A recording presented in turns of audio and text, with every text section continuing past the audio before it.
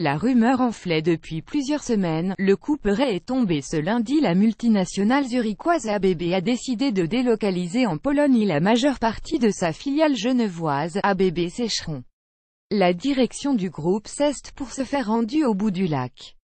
Ils nous ont annoncé 101 personnes licenciées chez ABB, et 47 postes temporaires supprimés NDLR. Il s'agit, en réalité, de 143, indique Vincent Brungar, porte-parole du comité d'action des employés.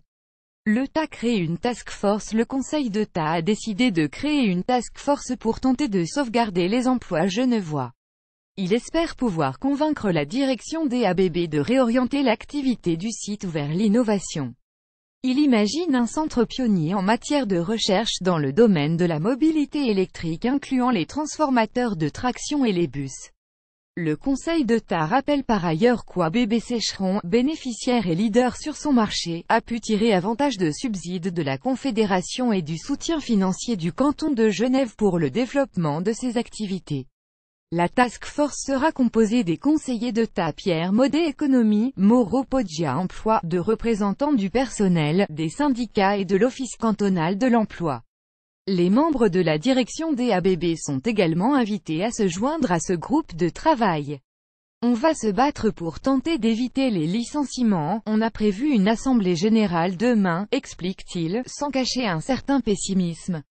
Pour la direction, la décision est prise, il est ni grec à rien à négocier, usine polonaise, pas prête, alors que la période réglementaire de consultation va débuter. Vincent Brungar explique que le plan de licenciement devrait débuter au premier trimestre 2018 pour s'achever en 2019, car l'usine en Pologne n'est pas encore prête. L'usine genevoise des ABB Sécheron est un centre d'excellence mondiale en matière de transformateurs de traction destinés à l'industrie ferroviaire. Elle dégage du bénéfice, mais pas assez aux yeux des actionnaires. On en est là, voilà, regrette le porte-parole des employés. Site genevois réduit mais maintenu La production va donc rejoindre la Pologne, mais le site genevois, où travaillent à ce jour quelques 230 personnes employées à bébé et temporaires confondus devrait être conservé.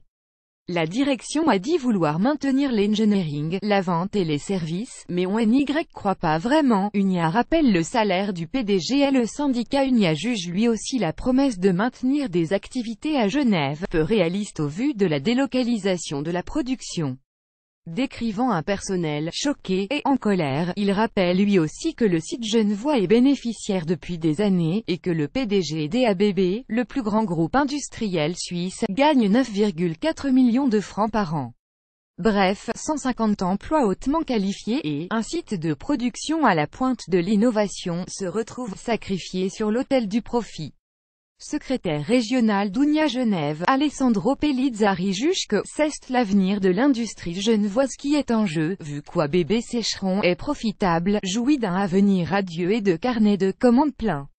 Et de préciser que si, mardi, les employés décident que leur priorité est de sauvegarder l'emploi, on les soutiendra. L'entreprise ABB n'a pas donné suite à nos sollicitations.